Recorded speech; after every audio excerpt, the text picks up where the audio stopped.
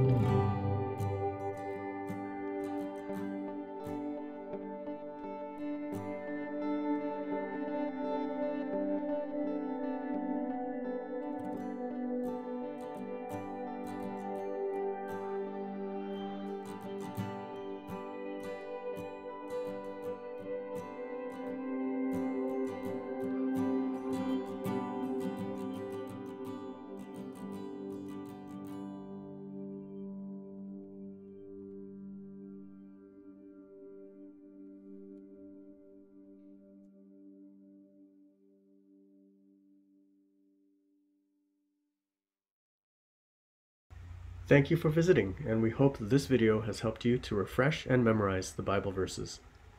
If you like this video, please click the thumbs up icon below and leave a comment to let us know how you decided to memorize the scripture with us. If you would like to support this channel and know when new videos are uploaded, please click the subscribe button below and click the bell to turn on notifications. Happy memorizing!